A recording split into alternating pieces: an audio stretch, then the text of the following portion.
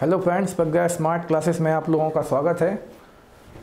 आज हम लोग अपने एम पी प्लस कॉन्स्टेबल की साइंस की क्लास को आगे बढ़ाएँगे और कैपला की ग्रहों की गति के नियम के बाद पढ़ेंगे कार्य, ऊर्जा और शक्ति वर्क एनर्जी एंड पावर तो शुरुआत करते हैं कार्य से। कार्य क्या होता है वर्क क्या होता है? तो कार्य की माप या कार्य क्या है? लगाए गए बल तथा बल की दिशा में वस्तु के विस्थापन को ही हम लोग क्या विस्थापन के गुणनफल को ही हम लोग क्या कहते हैं? कार्य सबको याद है। बेसिक परिभाषा में आप लोग क्या बोलते हैं? जब हम किसी भी वस्तु पर कोई बल लगाते हैं तो हमारी इच्छा होती है कि बल लगाने के बाद उस वस्तु की स्थिति में परिवर्तन आए।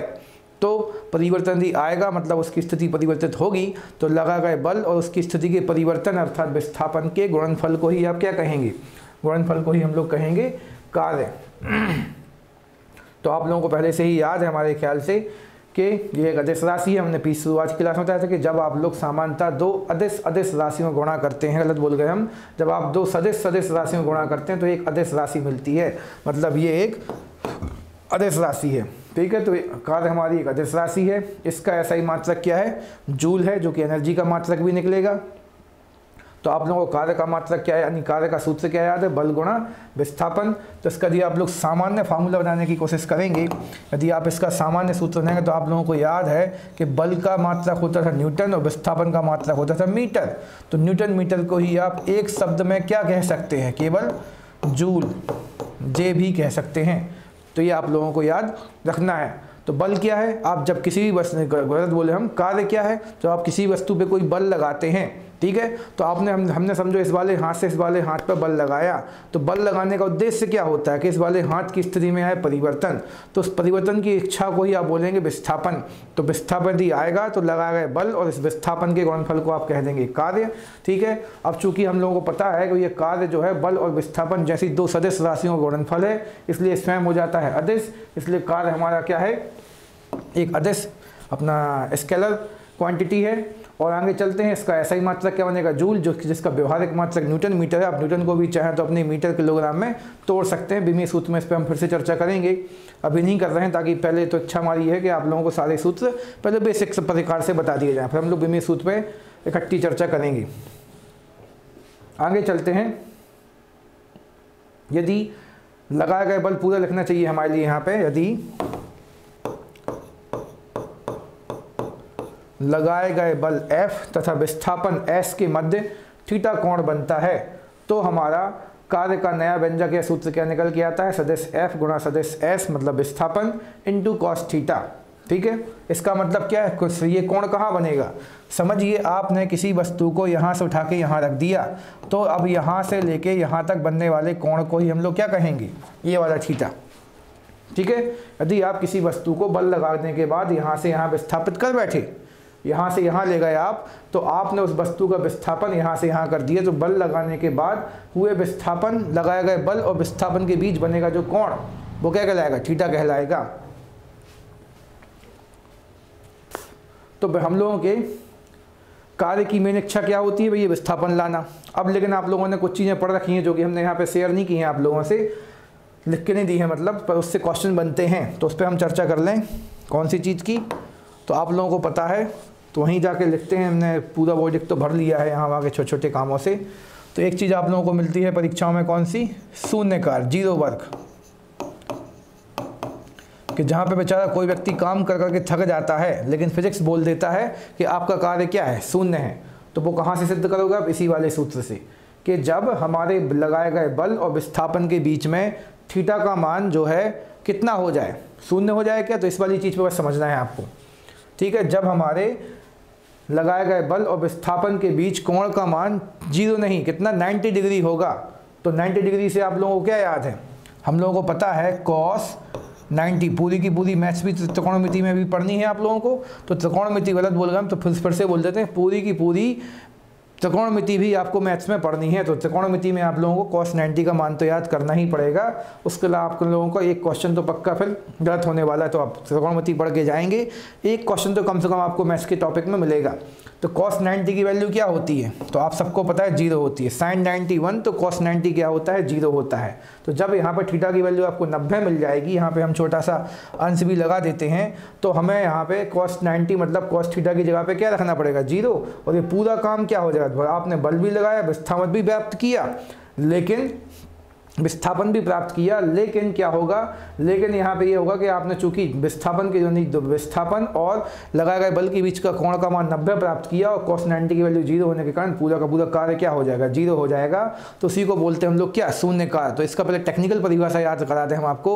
जब लगाए गए बल और हुए विस्थापन के बीच नब्बे अंश इसका कोण अर्थात लंबवत, इंग्लिश में बोले तो नाइन्टी डिग्री एंगल या फिर राइट एंगल एंगल या फिर परपेंडिकुलर की स्थिति बनती है तो उस स्थिति में हमारा किया गया कार्य क्या माना जाता है, सूर्य माना जाता है शून्य माना जाता है कि सूर्य माना जाता है। शून्य माना जाता है, अर्थात खत्म शून्य हो जाता है। ठीक है, इसके मुख्य उदाहरण आप लोगों को क्या क्या देखने मिलते हैं? कुली द्वारा किया गया कार्य। तो कुली साहब क्या करते हैं बेचारे? उनने सामान को यहाँ से उठाया, ठीक है, नीचे से उठाया और कहाँ रख लिया? अपने सिर पर तो इस नीचे वाली स्थिति और अंतिम स्थिति। आपने बल यहाँ पर लगाया, विस्थापन ये हो गया। तो यहाँ पे जो कोण बनेगा, कितने अंश का बनेगा? तो आप बोलेंगे 90 डिग्री का बनेगा। नीचे से बस कहाँ गया आप? ऊपर। यदि आप ये से यहाँ से यहाँ ले गया होता तो आप मान सकते। तो पहले बेचारे व्यक्ति कुली ने क्या किया? कुली ने क्या किया? कार्य को यहाँ से यहाँ उठा के रख लिया नहीं वस्तु को यहाँ से यहाँ उठा के रख लिया। अब यहाँ से यहाँ आप जाओगे। लेकिन जो प्रारंभिक विस्थापन है, उसके बीच तो कितने अंश का कोण बन गया प्रारंभिक? विस्थापन के समय कितने अंश का कोण बन गया? नाइन्टी डिग्री का कोण बन गया।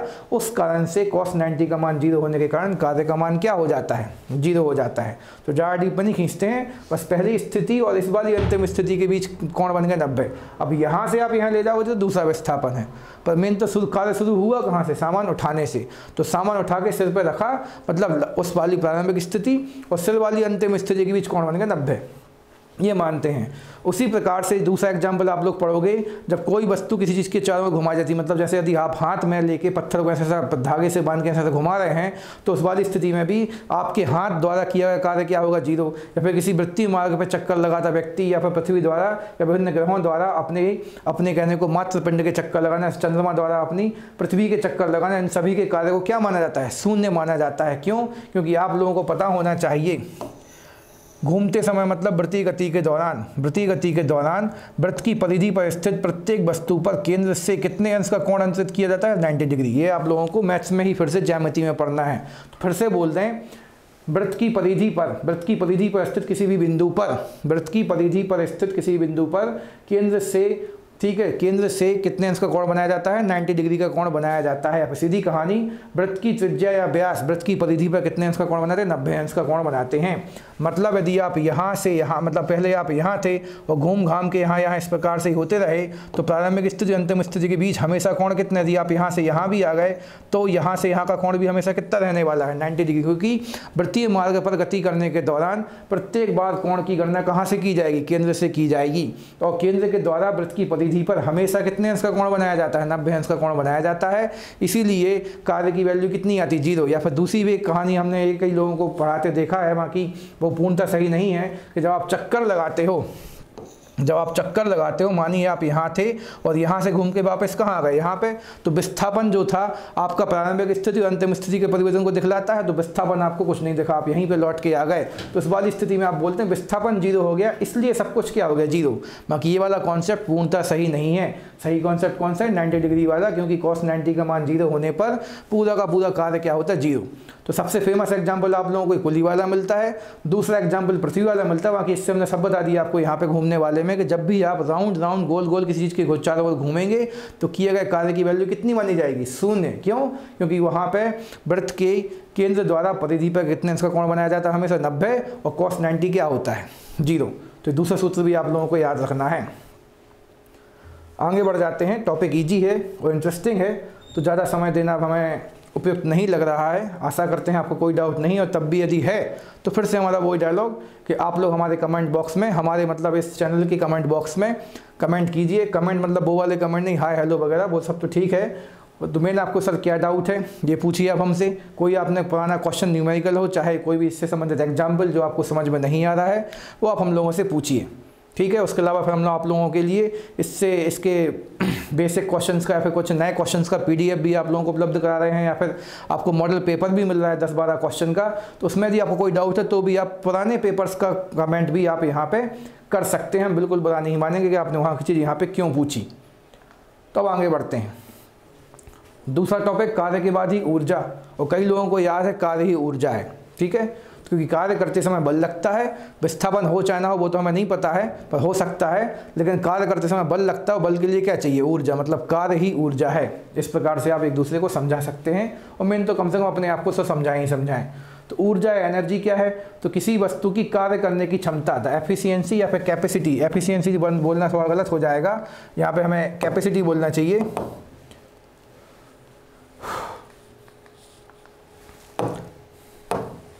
ठीक है? तो कार्य करने की क्षमता या कैपेसिटी को ही आप क्या कह देते हैं? ऊर्जा कह देते हैं। तो कोई भी आपके, आप कोई भी काम कर रहा हो तो आपके पास काम करने की कितनी क्षमता है, उसी क्षमता या कैपेसिटी को हम लोग क्या नाम दे देंगे? ऊर्जा नाम दे देंगे। तो कार्य करने की क्षमता तो कार्य करने की क्षमता क्षमता का तो कोई मात्रक होता नहीं, इसलिए इसलिए कार्य का मात्रक ही जूल का, यानी ऊर्जा का मात्रक बन जाता है। इस आधार पर कार्य ही क्या बन जाता है? ऊर्जा बन जाता है। ठीक है? और हम लोगों को पीछे पता था, कार्य भी अध्यक्ष था तो ऊर्जा भी कैसी राशि हो जाएगी? अध्यक्ष राशि हो जाएगी, कार्य का ऐसा ही मात्रक भी जूल था तो ऊर्जा का ऐसा ही मात्रक भी क्या हो जाएगा? जूल हो जाएगा। अब आप लोगों को पता है, ऊर्जा कई रूपों में दिखती है, पवन ऊर्जा, सौर ऊर्जा तो हमने इसके चित्र आप लोगों को बना के यहाँ पर थोड़ा सा दिखाने की कोशिश की ताकि थोड़ा सा आप लोगों को लगे कि हम लोग आप लोगों के प्रति थोड़ा सा अधिक गंभीर हैं, आप लोगों को चित्रात्मक प्रदर्शन के द्वारा अधिक से अधिक चीज़ें समझाने की कोशिश भी की जा रही हैं। देखिए, यहाँ पर सूर्य से लगातार धमाके के रूप में एनर्जी बाहर निकल रही, ऊर्जा बाहर निकल रही, ये वाली हो जाएगी अपन लोगों की ताप ऊर्जा और यहाँ पर हो रही है पवन ऊर्जा। हमें तो काफ़ी ज़्यादा हवा भी लग रही है, हम थोड़े से उड़ भी रहे हैं, इसलिए बाहर आ जाते हैं और आगे बढ़ जाते हैं। अब उसके सामने नहीं आएँगे हम। अब कार्य द्वारा प्राप्त ऊर्जा यांत्रिक ऊर्जा कहलाती है। ठीक है? तो ये भी आपको पता होना चाहिए। कार्य द्वारा जो भी आप काम करेंगे, ठीक है? उससे ऊर्जा मिलेगी आपको। देखिए या तो ऊर्जा खर्च होगी या मिलेगी, ऐसा हम लोग बोल सकते हैं कि ऊर्जा तो उत्पन्न होगी। तो उस वाली ऊर्जा को आप क्या कहेंगे? यांत्रिक ऊर्जा मतलब मैकेनिज्म, एनर्जी कहेंगे। और जो कि कितने प्रकार की होती है तो आप बोलेंगे। ठीक है? थोड़ा सा बीपी कम कर लें या फिर अपना प्रेशर कम कर लें दिमाग का, क्योंकि टॉपिक ईजी हम कुछ ज़्यादा ही हावी होने की कोशिश कर रहे हैं आप लोगों के मैटर पे। ईजी फिर से बोल देते हैं, हम लोग जब भी कोई काम करते हैं तो काम करने से बल तो लगता है, शरीर की एनर्जी खर्च होती है, लेकिन काम की खुशी के रूप में कुछ ऊर्जा आपको मिलती है मतलब ऊर्जा तो उत्पन्न होती है। तो काम करने से उत्पन्न हुई ऊर्जा या प्राप्त की गई ऊर्जा को ही आप क्या कह देंगे? यांत्रिक ऊर्जा फिर मैकेनिज्म एनर्जी कह देंगे, या मैकेनिकल एनर्जी कह देंगे, जो कि कितने प्रकार की होती है दो प्रकार की। काम करने से या तो किसी वस्तु की स्थिति में परिवर्तन होगा ठीक है? तो उसको बोलेंगे गतिज अवस्था और वहाँ पर कौन सी ऊर्जा उत्पन्न हो जाएगी? गतिज ऊर्जा, या फिर कोई वस्तु अपनी जगह पर स्थिर रह काम कर सकती है, ठीक है? तो उस वाली स्थिति में कौन सी ऊर्जा संचित हो जाएगी या उत्पन्न हो जाएगी? तो आप बोलेंगे स्थितिज ऊर्जा आ जाएगी, ठीक है? तो ये आप लोगों को याद रखना है कार्य करने की क्षमता। मेन तो ये याद रखना है क्योंकि कार्य करने की दर होगी अभी आगे जाके शक्ति। तो ऊर्जा क्या है? क्षमता है। मेन शब्द तो ये आपको याद करके जाना है। इंटरव्यू वगैरह में भी सवाल पूछे जाते हैं अब, लेकिन अभी तो कांस्टेबल में कोई इंटरव्यू वगैरह होना नहीं है तो क्षमता, ऊर्जा आगे जाके पढ़ेंगे दर शक्ति है। और इसका ऐसा ही मात्रक पूरा कार्य के जैसा, सब कुछ कार्य कार्य आदेश था तो ये भी आदेश है। इसका ऐसा ही मात्रक जूल, क्योंकि कार्य का भी जूल था। और ये कितने प्रकार की होगी? दो प्रकार की स्थितिज और गतिज। कुछ किताबें लिखती है, उदाहरण तो वो भी हम सही बोल देंगे कि ऊर्जा के कितने उदाहरण हैं। मुख्य रूप से दो उदाहरण हैं। आगे चल लेते हैं टॉपिक ईजी है।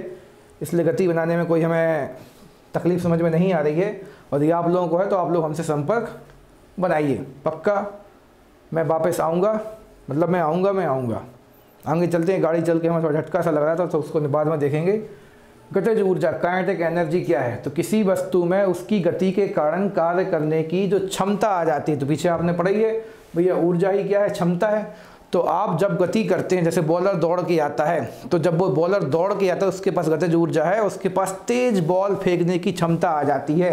तो इस प्रकार उसने अपने अंदर कौन सी एनर्जी उत्पन्न की है, या प्राप्त की, गतिज ऊर्जा उत्पन्न की है, प्राप्त की है तो किसी वस्तु में उसकी गति के कारण कार्य करने की जो क्षमता आ जाती है, उसे आप लोग क्या कह देंगे? गतिज ऊर्जा कहेंगे। ठीक है, वो तो आगे फिर सब कुछ है ही। तो गति के कारण जब गतिज ऊर्जा कोई ऊर्जा है, उसको आप गतिज ऊर्जा कहेंगे। ठीक है? अब जो वस्तु गति कर रही है तो उसका द्रव्यमान आप m माने और जो गति करेगी उसके पास कोई ना कोई बेग होगा तो उसके बेग को आप v माने तो उस वस्तु की गतिज ऊर्जा के ई का अर्थ है अर्थ क्या है? काइनेटिक एनर्जी ऊपर लिखा भी है वैसे तो तो के ई मतलब काइनेटिक एनर्जी तो के ई का सूत्र क्या निकल गया था? One point two M B square फिर से वही हमारा पॉइंट पुराना डायलॉग यदि आप लोग चाहते हैं, इसको हम सिद्ध करके दिखाएँ तो आप लोग हमारे प्रज्ञा स्मार्ट क्लास के ही इलेवंथ क्लास की वीडियो देखें, वहाँ पर हम इसको भी सिद्ध करके दिखाएँगे आपको। देखिए दिखा चुके हैं, आप लोग वीडियो में दिखाएँगे वाला शब्द यूज़ कर सकते हैं। तो हमारी कार देखिए थोड़ी सी गति में आ गई, इसको गतिज ऊर्जा मिल रही है और ये लगातार बढ़े जा रही मतलब नीचे गति गतिज ऊर्जा मिली तो होगी किसको? गियर्स वगैरह को इंजन वगैरह को। उसने कार को किसमें ला दिया है? गति में ला दिया है। ऐसा हमें बोलना चाहिए। तो काफ़ी ईजी टॉपिक है, फिर से बोल देते हैं, किसी वस्तु में गति के कारण कार्य करने की जो क्षमता आती है, उसे आप गतिज ऊर्जा कहेंगे। बस एक छोटी सी चीज़ बोलते हैं हम, ये भी क्या है अपने आप में? ऊर्जा है। अब चाहे गतिज है, उससे में कोई दिक्कत नहीं है। ये भी अपने आप में ऊर्जा है और आप लोगों को पता है, कार्य ही क्या है? ऊर्जा। ठीक है? तो कार्य ही ऊर्जा है, ऊर्जा ही गतिज ऊर्जा है। तो ये सब चीज़ें आपस में कैसी हैं? बराबर। और कार्य का सूत्र आप लोगों को क्या याद है? तो आप बोलेंगे बल गुणा विस्थापन। तो एक नई सब नया समीकरण भी आप लोगों को याद रखना है। मतलब ये और ये सब आपस में कैसे हैं? बराबर। सबका मात्रक क्या है? सबका मालिक नहीं, सबका मात्रक क्या है? तो यहाँ पे जूल है। तो इससे भी आप लोग काफ़ी सारे क्वेश्चन कर पाएँगे। मतलब कई बार हम लोग को क्वेश्चन मिलेगा गति करने के दौरान आपने कार्य किया, ठीक है? जिससे आपके पास इतना बेग उत्पन्न हो गया। अब आप बोलोगे, सर, कार्य के सूत्र में तो बेग होते ही नहीं है, विस्थापन बस होता है।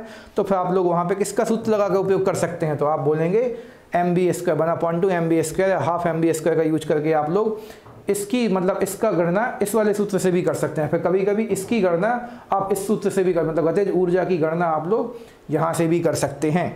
तो ऐसे क्वेश्चन बना के पक्का लाएँगे आप लोगों से। आप लोगों के लिए, आप लोगों से बोलना गलत था बिहार। आगे चलते हैं।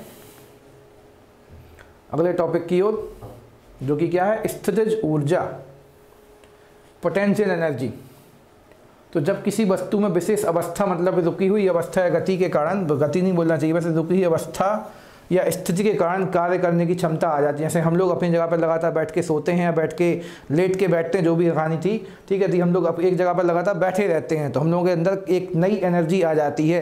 तो बैठे बैठे जो आपने अपने अंदर एनर्जी संचित कर ली है, ठीक है लेटे लेटे कर ली मतलब सीधी बात है, अपनी जगह पर आप स्थिर रहे, आपने बार बार अपनी पोजिशन चेंज नहीं की मतलब विस्थापन को नहीं दिखलाया है तो उस स्थिति में भी यदि आपके अंदर कोई एनर्जी संचित हो रही है, ऊर्जा संचित हो रही तो उस वाली ऊर्जा को हम लोग अब क्या बोलेंगे?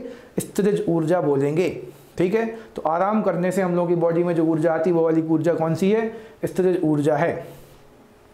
तो वापस आ जाते हैं तो जब किसी वस्तु में विशेष अवस्था या स्थिति के कारण कार्य करने की क्षमता आ जाती है तो उसे स्थितिज ऊर्जा कहते हैं, जैसे कि बाँध बनाकर इकट्ठा किया गया पानी। बाँध बनाकर इकट्ठा किया गया पानी की ऊर्जा। तो इसको आप लोग कैसे समझेंगे कि सर पानी तो बहता है तो भी उसमें ऊर्जा रहती है? तो उसको इकट्ठा करने की क्या इच्छा? एक तो सबसे बड़े यदि आपने उसको इकट्ठा कर लिया तो पानी जो बह के वेस्ट हो रहा था, वो आप बचा लेंगे। और जो पानी आपने बहुत सारा इकट्ठा कर लिया है, उसके द्वारा बहुत से लोगों को, खासकर फ़सलों वगैरह को, पानी का यूज़ करने को मिलेगा, उससे उनको एनर्जी मिलेगी। तो ये तो होगा व्यवहारिक रीजन दूसरा रीजन जो टेक्निकल रीजन है, वो क्या है? आपका पानी जो है, लगातार बह बह के वेस्ट हो रहा था। आपने यहाँ पे करना लिए बाँध बना लिया, जिससे पानी क्या होगा? यहाँ तक आपने इकट्ठा कर लिया। अब यदि दूसरी कहानी क्या लगानी है हमें? कि यदि हमारा पानी इतने ही लेवल से बह रहा था तो उसके पास आयतन कम था। उसके पास आयतन कम था, इसका उसकी गति कैसी थी? कम थी। तो पानी के द्वारा आप कोई खास विशेष काम नहीं कर पा रहे थे। ऊपर से पानी की मात्रा भी कम थी। हमने बाँध की दीवार बना के, ये हमने बनाया बाँध। हमने बाँध की दीवार के पानी बाँध की दीवार बना के पानी को कर लिया संचित, जिससे पानी हो गया स्थिर। ठीक है? पानी हो गया स्थिर। और उसमें कौन सी एनर्जी आ गई? स्थिर ऊर्जा। हम ये कैसे मानेंगे? उसमें ऊर्जा आ गई। अब जैसे ही आप इस इस बाँध के दरवाजे कभी खोलेंगे तो फिर वो बहुत तेज़ गति से आगे बढ़ेगी। जबकि जब पानी थोड़ा बहुत था तो वो उतनी तेज़ गति से आगे नहीं बढ़ रहा था। तो पानी को जब आपने रोका, उसकी मात्रा बढ़ गई, उसके अंदर एनर्जी भी क्या हो गई? बढ़ गई। फिर नीचे आप लोग चाहे टर्बाइन वगैरह लगा के, उससे क्या बिजली का निर्माण भी कर सकते हैं। हम लोगों ने देखा कि बहुत से बांधों पर अब टर्बाइन के द्वारा बिजली का निर्माण भी होता है, जिसका मुख्य उद्देश्य, जो इसका कारण क्या होता है? बाँध द्वारा बाँध बनाकर पानी को इकट्ठा करना। सेम कहानी किसकी है? घड़ी की चाबी को जब आप घुमाते हैं तो घड़ी की चाबी में आप दूसरा कॉन्सेप्ट ये लगा सकते हैं? जैसे हमने पीछे बोला है कि जब यदि कोई वस्तु अपनी जगह से लगातार विस्थापित नहीं होती, एक ही दूरी पर बैठी रहती है तो वहाँ पर यदि उसने कोई काम किया तो उस कार्य को करने से आपके पास जो ऊर्जा संचित होगी, उसको हम लोग क्या नाम दे देंगे? स्थिर ऊर्जा। तो हम लोग देखते हैं घड़ी की चाबी को आप लोग क्या, कभी यहाँ पे, कभी यहाँ जाके घुमाते हैं? नहीं, आप एक ही जगह पे क्या करते रहते घुमाते रहते हैं, जिससे उसके द्वारा कार्य तो किया जा रहा है, लेकिन लगातार विस्थापन आपको देखने को नहीं मिल रहा है। वही दूसरी कहानी जो व्यवहारिक कारण हमने पीछे पृथ्वी द्वारा सूर्य के चक्कर लगाने बताया था। तो जब उसको एक ही जगह पर लगा के घुमाते रहेंगे तो कार्य तो होगा, लेकिन विस्थापन आपको नहीं दिखेगा। ठीक है? विस्थापन आपको नहीं दिखेगा। उस स्थिति में आपको वहाँ पर कौन सी ऊर्जा संचित दिखेगी? स्थिर ऊर्जा संचित दिखेगी। स्प्रिंग या कमानी तो हम लोग देखते हैं। स्प्रिंग बेचारी इस प्रकार से खिंची बैठी रहती है कहीं पे। अच्छा चित्र नहीं बना ऐसा ऐसा बनाना चाहिए मोस्टली हमारे लिए एक जगह खिंची होती है तो तनी हुई बैठी हुई है। लेकिन जैसे ही आप इसको छो, ऐसा हिला के छोड़ दो तो काफ़ी देर तक ऐसी ऐसी होती रहेगी। मतलब इसके पास कोई ना कोई एनर्जी थी तो वो वाली एनर्जी को आप लोग कौन सा नाम दे देंगे? इससे ऊर्जा। कमानी मतलब तीर कमान जो धनुष के पास जो धागा होता है, लंबा वाला एकदम टाइट बना हुआ, वो भी स्थिर दिखता है, लेकिन उसके पास बहुत सी एनर्जी होती है। जैसे उससे हम लोग इस पर खींचते हैं तो तार को बनी, बाण को या फिर तीर को वो अपनी क्या स्थिर ऊर्जा प्रदान करता है तो वहाँ पर स्थिर ऊर्जा बाण के अंदर गतिज ऊर्जा के रूप में आगे बढ़ जाती है। मतलब उस कमानी के अंदर मतलब उस धागे के अंदर भी कौन सी ऊर्जा है? तो आप बोल देंगे, स्थिर ऊर्जा है। और स्थिर ऊर्जा का सूत्र क्या होता है? थोड़ा सा और अच्छा हुआ पढ़ना है। गुरुत्व बल के विरुद्ध संचित स्थिर ऊर्जा का व्यंजक है। तो गुरुत्व बल के विरुद्ध काम करना पड़ता है कई बार आपको यहाँ पे। तो इस लाइन को भी हम थोड़ा सा अंडरलाइन कर लें। गुरुत्व जो है, हर चीज़ को कहाँ खींचता है? नीचे को खींचता है, लेकिन हमने यहाँ पे पानी को ही देख लिए। पानी को ही देखिए हमने नीचे जाने से रोक दिया और यहाँ पे क्या स्थिर कर लिया है? घड़ी की चाबी जो है, नीचे गिरने को एक छिट्टी लेकिन उसको उठा के रखा और अपनी जगह पे क्या? घुमाया। तो गुरुत्व बल के कहाँ काम किया है? विरुद्ध काम किया है। तो गुरुत्व बल के विरुद्ध संचित स्थित ऊर्जा का व्यंजक क्या है? तो आप बोलेंगे पी मतलब पोटेंशियल एनर्जी बराबर में एम जी एच ना कि एम डी एच बोलो चले गए बाबा जी तो यहाँ पे एम जी एच है। तो एम जी एच में एम क्या है? तो जिस वस्तु को आपने इकट्ठा किया संचित स्थिर स्थायी किया है तो वहाँ पे ये एम उसका द्रव्यमान है, नीचे लिखा है। जी क्या है? तो पृथ्वी का गुरुत्वीय त्वरण या गुरुत्वजनित त्वरण, जिसको आप लोग 9.8 मीटर पर सेकंड स्क्वायर जानते हैं। लगभग हमने दस मानने को बोला है। और एच क्या है? जिस ऊंचाई पे आप काम कर रहे हो, या फिर जिस ऊंचाई तक आपने पानी को रोका है। ठीक है? तो जिस ऊंचाई तो एम की यदि हम लोग इसको कोई बात करें जे हमारी पृथ्वी है। पृथ्वी पर हमने एक घड़ी रख रखी है तो घड़ी में चाबी आपने ये लगाई है तो एच की में गणना करने की बात होती है तो पृथ्वी सतह से आपकी चाबी कितनी ऊँची है, उसी को हम लोग क्या कह देंगे? एच कह देंगे, ना कि पृथ्वी के केंद्र से दूरी, क्योंकि वो तो हमेशा कितनी होती है तो आप बोलेंगे वो तो सर चौंसठ सौ किलोमीटर होती है तो उतनी बड़ी नहीं लेना आपको। पृथ्वी सतह से आप जहाँ पे, आप जहाँ पे बल लगा रहे हो मतलब सीधी बात बोले तो गुरुत्व केंद्र तक की दूरी, उस वस्तु का गुरुत्व केंद्र जो हमने आपको कल की क्लास में समझाया था तो पीछे की क्लास ही हम लोगों को यहाँ पे बेस का काम करने वाली हैं। तो एच ना कि एम किसका सूत्र है? स्थिर ऊर्जा का। बाकी एम मसाला भी जो था, वो स्थिर ऊर्जा का उदाहरण था मतलब स्थिर हो गया हम लोग मार्केट में। ठीक है माना कि लोगों को सब कुछ समझ में आया है। तो एम जी एच में एम क्या है? द्रव्यमान है। जी पृथ्वी का गुरुत्व त्वरण है। और एच क्या है हमारी? हमारे लिए मतलब उस वाली वस्तु की ऊंचाई जिसके लिए आप स्थिर ऊर्जा की गणना करने के लिए आए हैं। तो इसको आपको बस ये अंतर याद रखना है जब भी कोई काम करते हैं ऊर्जा उत्पन्न होती है ठीक है तो उसी ऊर्जा उत्पन्न उस, उसी ऊर्जा को हम लोग मतलब वो एक क्षमता उत्पन्न होती है उस क्षमता को हम लोग ऊर्जा कहते हैं। जैसे हम लोग लगातार पढ़ाई कर रहे हैं तो हम लोग अंदर चीज़ों को समझने की चीज़ों को याद करने की अधिक समय तक काम करने की एक क्षमता आती है। तो उसी क्षमता को हम लोग क्या नाम दे देते हैं? ऊर्जा। तो ये ऊर्जा दो स्थितियों में आ सकती है। या तो आप लोग दौड़ दौड़ के अभी फ़िज़िकल की तैयारी करें तो आप दौड़ दौड़ के अपनी क्षमता बढ़ाएँगे। अभी हम लोग बैठ के क्या करते हैं? पढ़ रहे हैं। तो बैठ के अभी आप क्षमता बढ़ाते दौड़ते समय आपके अंदर कौन सी ऊर्जा उत्पन्न होगी तो आप बोलेंगे गतिज ऊर्जा। और बैठे बैठे जो पढ़ाई कर रहे हैं तो उस समय कौन सी ऊर्जा उत्पन्न होगी? स्थितिज ऊर्जा। यदि बैठ के आप इस प्रकार से गति करें तो हाथ तो गतिज ऊर्जा में, लेकिन हमारा शरीर किस ऊर्जा में रहेगा? स्थितिज ऊर्जा में रहेगा। तो ये बाँध का उदाहरण हमने बताया, आपको दिखाने के लिए, ताकि थोड़ा सा फीलिंग आ जाए कि बाँध में पानी रोका गया है, इसमें कौन सी ऊर्जा है? स्थिर ऊर्जा है। तो इसको आप लोग समझें, और कोई भी डाउट है तो हमसे संपर्क करें। अभी हाल आगे बढ़ते हैं। तो ऊर्जा पढ़ने के बाद हम लोग को एक टॉपिक और मिलता है सभी परीक्षाओं में, काफ़ी इंपॉर्टेंट भी रहा, हमने देखा है पिछले कुछ सालों में। संवेग और गतिज ऊर्जा में संबंध क्या है? तो हम लोगों को पता है गतिज ऊर्जा को हम लोग के ही लिखते हैं। ठीक है, गतिज ऊर्जा को हम लोग के ही लिखते हैं और संवेग को हम लोग मोमेंटम से एम ना लिख के क्या लिखते हैं? पी क्योंकि एम तो काफ़ी चीज़ों के संकेत हो चुके थे। इसलिए मोमेंटम या संवेग का संकेत क्या बनाया गया है? पी बनाया गया तो गतिज ऊर्जा को जब संवेग के रूप में दिखाएँगे आप तो आपको मिलेगा P E square upon two M ये कैसे आता है? तो थोड़ा सा इसको हम लोग सिद्ध कर लेते हैं। वैसे सिद्ध करने तो नहीं आना हम लोग की परीक्षा में। पर कभी यदि किसी प्रकार से कुछ भी नया होता है आपकी परीक्षा में तो हम आपको उसके लिए तैयार करना चाहेंगे। तो आप लोगों को तो याद है के ई बराबर क्या होता है? One upon two M V square अब लेकिन हम लोगों को एक चीज़ ये भी याद है कि संवेग, जिसको आप लोग यहाँ पे पी लिख रहे हो, संवेग पी बराबर क्या होता है? इसको लिखने की ज़रूरत नहीं है यहाँ पे। संवेग बराबर क्या था? द्रव्यमान गुणा वेग। तो संवेग बराबर क्या था? केवल m इंटू वी था। तो आप लोग ध्यान देंगे, यहाँ पे भी एम भी है और यहाँ पे भी एम भी है। बस एक चीज़ क्या है एक्स्ट्रा कि यहाँ पे भी दो बार है। तो इसको थोड़ा सा एक्सप्लेन करके आप लोग कैसा लिख देंगे?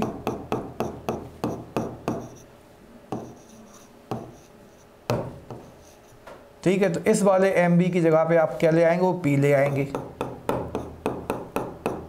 तो बस हम ये दिखा रहे हैं कि ये सूत्र जो संबंध आप लोगों को लिखा मिलता है किताबों में या फिर अपनी जो भी चीज़ें पढ़ रखी हैं पहले से वो कैसे लिखा मिलता है? ईजी है और कभी कभी हमने देखा कि बीच बीच में इन स्टेप्स का भी यूज़ आपको करना आना चाहिए, इसलिए हम ये बता रहे हैं।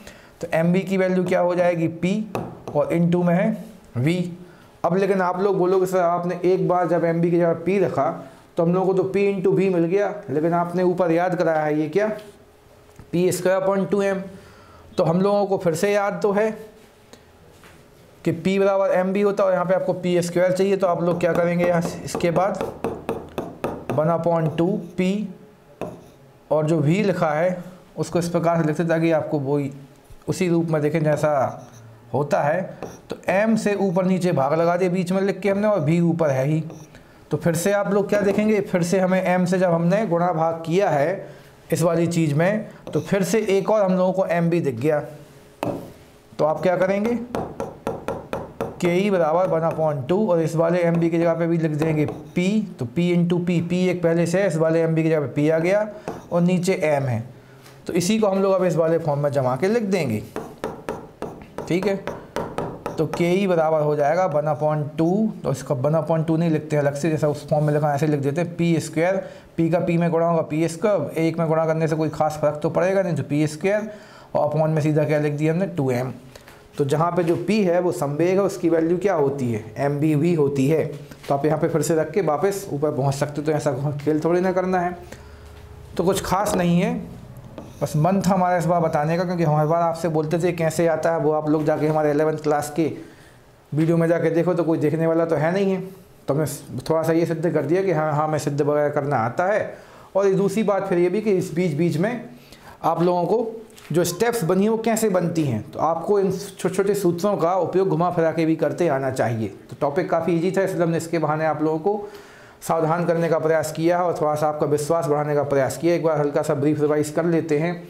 हम लोगों से यदि परीक्षा में संवेग और गतिज ऊर्जा के संबंध पूछा जाता है तो उसका सूत्र क्या बनता है? गतिज ऊर्जा बराबर संवेग का वर्ग बटे में दो गुणा द्रव्यमान अर्थात के ई बराबर P square point two M ये कैसे बनता है? तो हम लोगों को जो गतिज ऊर्जा का सूत्र याद है गतिज ऊर्जा बना one upon two M B square. उसी एम बी स्क्वायर में हम लोगों ने एम बी की जगह पे क्या रख दिया? पी रख दिया। पी का अर्थ यहाँ पे संवेग है। वो रखा आपने, आगे बढ़ गए। फिर हमें यहाँ पे चूँकि आप देख रहे हैं सूत्र में पी स्क्वायर था तो हमने एक बार एम और एम से गुणा भाग करके एम बी की जगह पे फिर से एक पी रख दिया। हम लोग को पी स्क्वायर मिल जाएगा।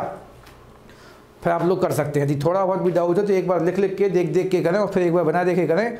अपने आप बनने लगे तब भी कोई डाउट है तो आप हमारे पास तो ही आ सकते हैं। मेरा दर खुला है, खुला ही रहेगा। ठीक है? अब यहाँ पे एक अर्थात लिखा उसको ही पढ़ के सुना दें, क्या लिखा अर्थात के बारे में? अर्थात संवेग को दोगुना करने पर गतिज ऊर्जा कैसी हो जाएगी? चार गुनी कैसे हो जाएगी? यदि आपने किसी पहली स्टेप में के ई का मान भी एक और पी का मान भी एक रख रखा है तो कोई खास दिक्कत नहीं होगी। लेकिन जैसे ही आप पी का मान क्या लिखा है यहाँ पे? संवेग को दोगुना करेंगे। जैसे ही आप पी का मान दोगुना करेंगे तो पी का मान दो रखने पर यहाँ पर दो का क्या हो जाएगा? वर्ग। और दो का वर्ग होने का अर्थ है कितना मान मिलेगा आपको? चार। तो सामने जो जो के ई का मान है, के ई, पी का मान दो रखने पे के ई के मान में कैसा दिखे क्या परिवर्तन दिखेगा आपको? तो चार का मान है, सीधा चार दिखेगा। ठीक है? तो ये चीज़ें गणित में आप लोग ज़्यादा समझते हैं। तो यहाँ पे फिर से बोल रहे हैं एक एक होने में तो कोई खास परिवर्तन समझ में नहीं आता। लेकिन यदि आप पी का मान दो रखोगे तो दो पर लगती है जो कि दो की घात इसलिए यहाँ पे दो के ऊपर दो की घात के रूप में कितना आएगा आपको? चार मिलेगा। तो एक एक वाली कंडीशन से सीधा आपको दो पी का मान दो रखने पर चार की वैल्यू मिलेगी। मान लो एम का मान सबका मान स्थिर रहने वाला तब की स्थिति में हम लोग ऐसा बोल सकते हैं कि पी का मान दो रखने पर सम, आपको संवेग का मान गतिज ऊर्जा का मान कितना मिलेगा? सीधा चार मिलेगा। तो ऐसे क्वेश्चन भी मिलते हैं। ठीक है? तो आपको समझना है, थोड़ा सा एक बार फिर से बोल देते हम कुछ अच्छे शब्दों का चयन नहीं कर पाए। यदि पी का मान आप दो रखेंगे तो दो का हो जाएगा वर्ग। तो इसकी वैल्यू दो से कितनी हो जाएगी? चार। एक रखने पे एक ही मिल रहा है, हमने ये बोला था आपसे पी का मान एक रखेंगे, इन सबको स्थिर मान लें, इन सबको नीचे वालों को एक मान लें, दो टू एम का वैल्यू एक मान लें तो पी का मान एक रखने पे एक ही आएगा करंट गतिज ऊर्जा का मान। लेकिन जब पी का मान दो रखेंगे तो वो चार होगा, क्योंकि आप लोगों को समझ में आ रहा है, दिख भी रहा है कि पी का मान वर्ग के रूप में परिवर्तित कराता है कौन? के तो तीन रखेंगे जो नौ गुना हो जाएगा, चार रखेंगे जो सोलह गुना हो जाएगा, ऐसे क्वेश्चन आपको बहुत मिलने वाले हैं और पीछे आ भी चुके हैं। एसएससी रेलवे जैसी परीक्षाओं में हमने अक्सर देखा कि एसएससी रेलवे के क्वेश्चन ही व्यापम की परीक्षाओं में ज़्यादा रिपीट होते हैं, खासकर साइंस वाले क्वेश्चन तो इनको आप लोग थोड़ा सा याद रखें और समझने की कोशिश करें। तब भी कोई डाउट रहे तो हमने फिर से वही पुराना डायलॉग मेरा दर खुला है, खुला ही रहेगा, खुला ही रहेगा।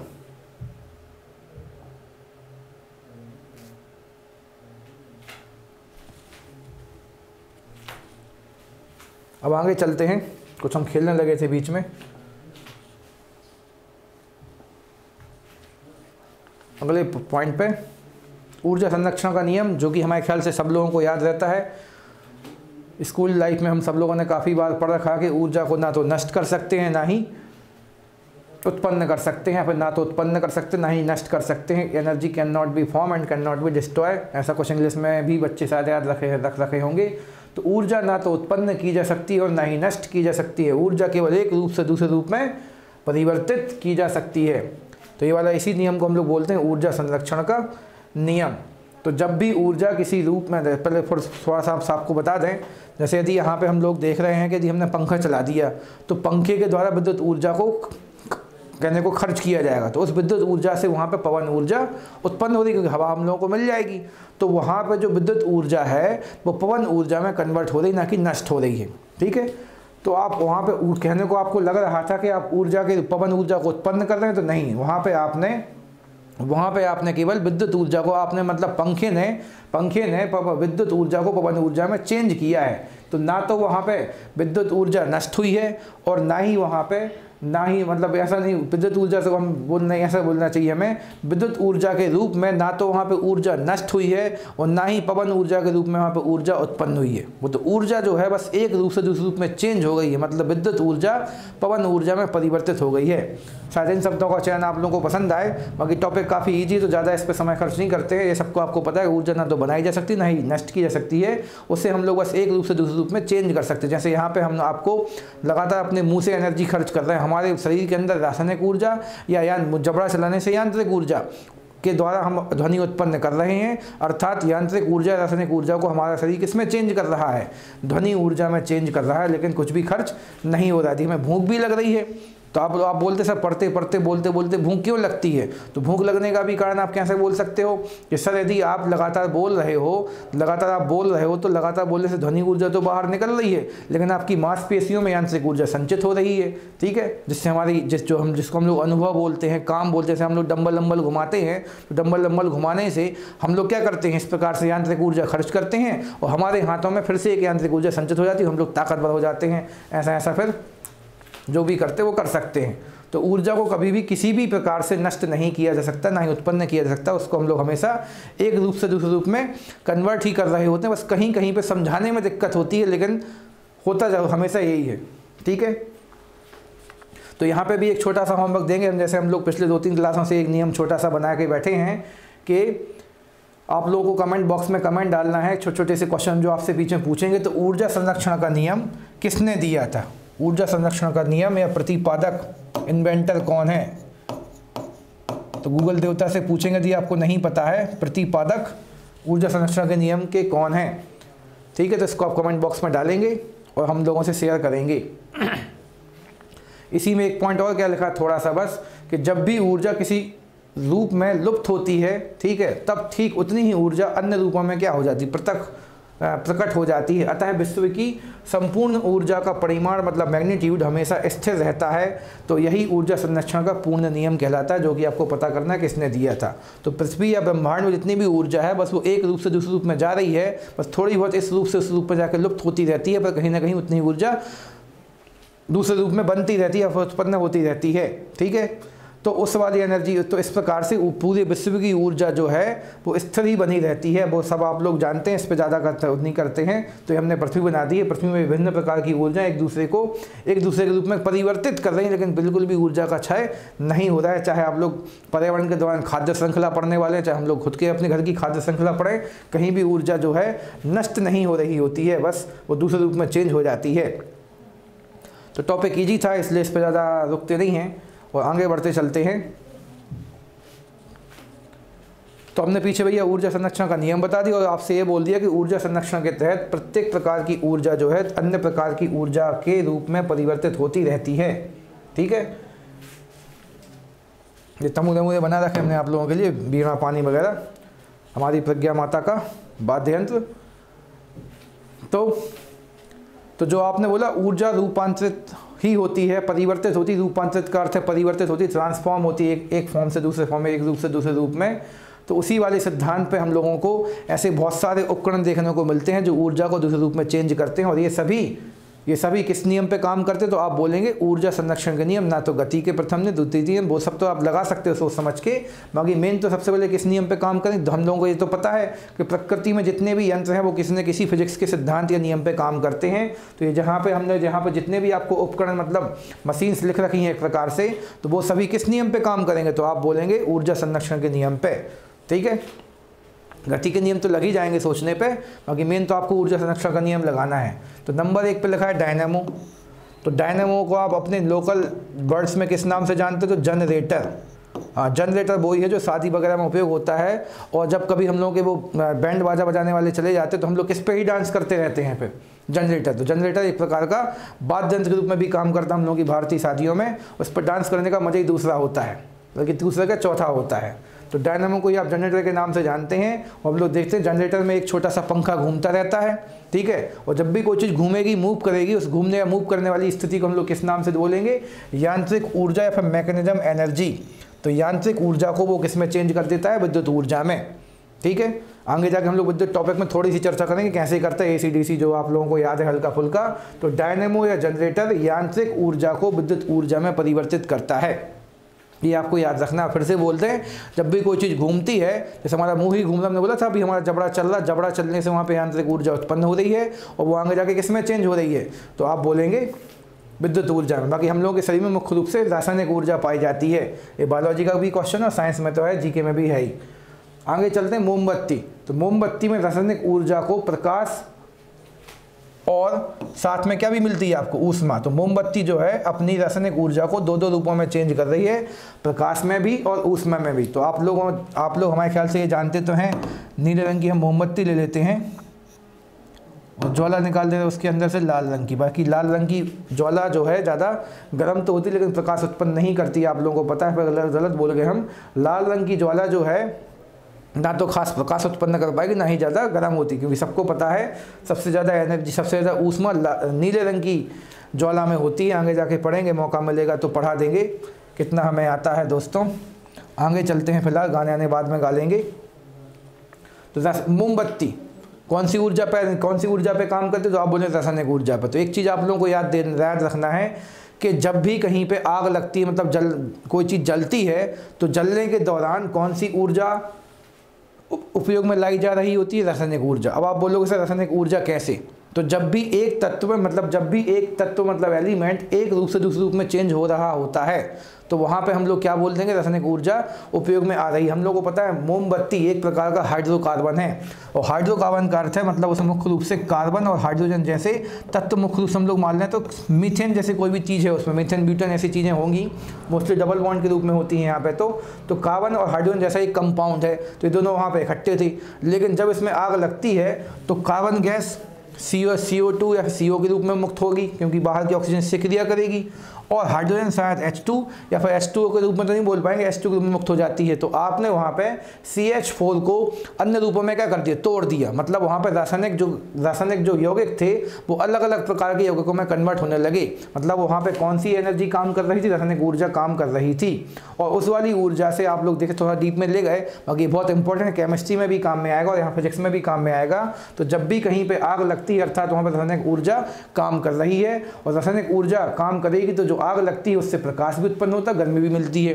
तो मोमबत्ती से हम लोग देखते हैं, जब लाइट चली जाती है तो उजाले के रूप में भी काम करते हैं। और हमने कुछ लोगों को देखा है, जब हम लोग घर में शादी आदि होती है तो हम लोग बसेते वसेते पैक करते हैं। अब किसी के पास मशीन तो होती नहीं है तो लोग मोमबत्ती जलाएँगे, बसेते को पन्नी में पैक करेंगे, उसको फिर ऐसा करके, गर्म करके बसेते की पन्नी को पैक कर लेते हैं। मतलब वहाँ पर आपने मोमबत्ती की कौन सी ऊर्जा का उपयोग किया? उष्मा का। तो आज के समय में मोस्टली प्रकाश के रूप में तो कम उपयोग हो रहा है, वैसे कैंडल लाइट डिनर के रूप में भी हो रहा है, प्रकाश के रूप में इसका उपयोग, बाकी ऊष्मा के रूप में वही पैकिंग वैकिंग में उपयोग होता रहता है इसका। ठीक है?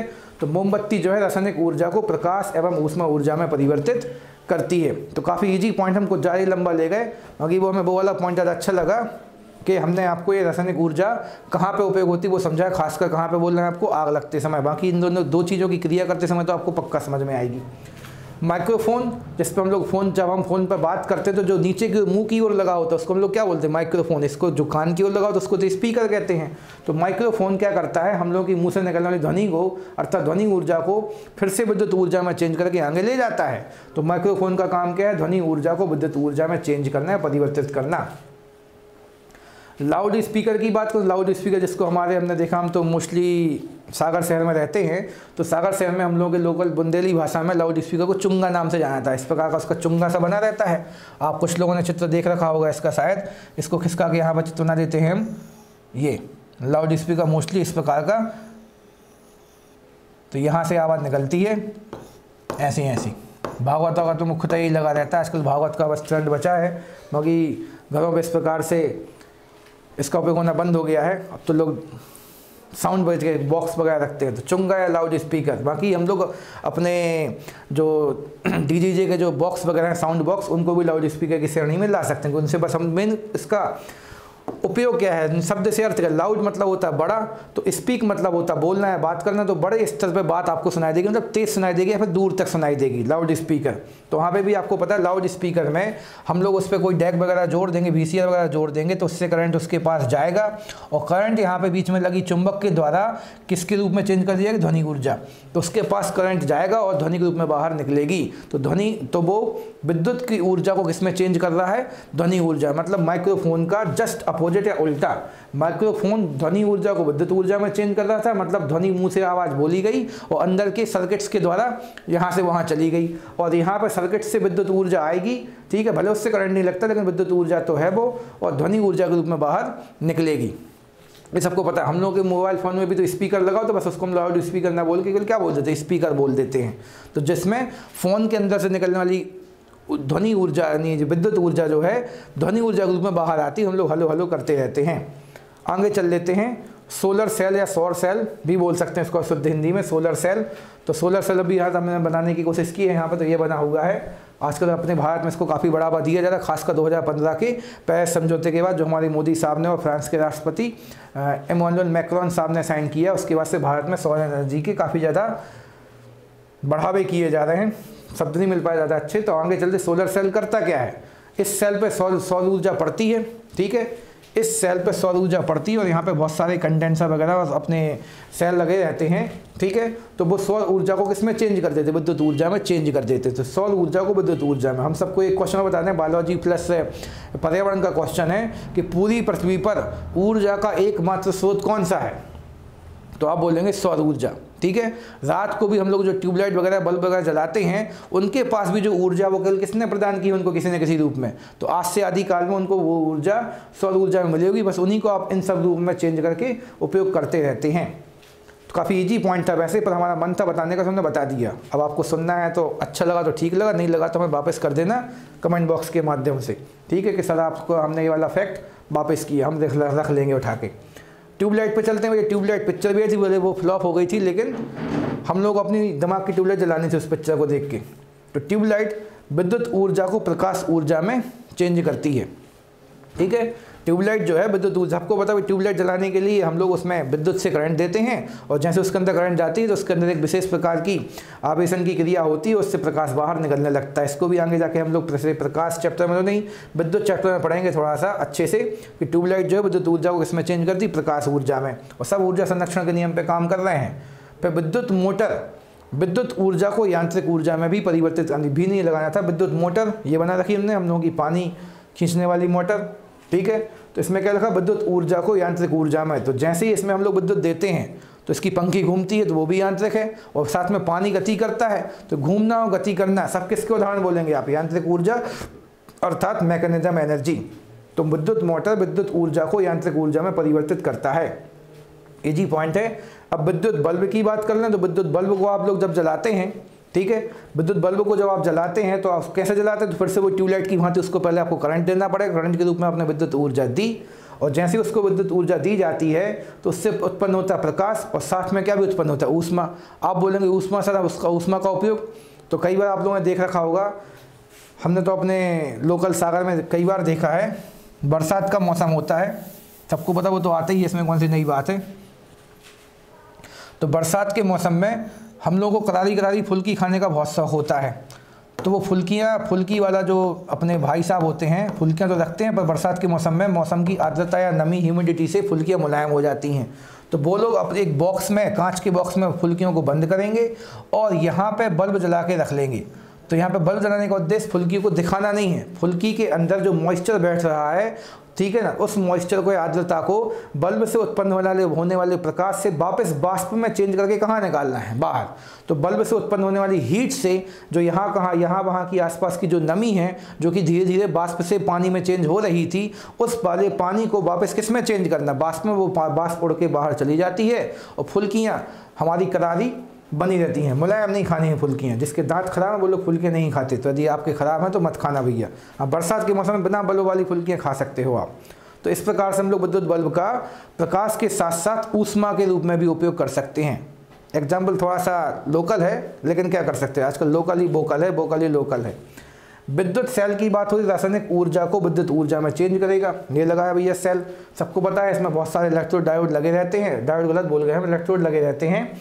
और वो उसमें वो केमिकल्स के बने होते हैं, उसमें विद्युत अपघट्टे भरते हैं, विद्युत अपघट्ट भी एक केमिकल होता है, ठीक है?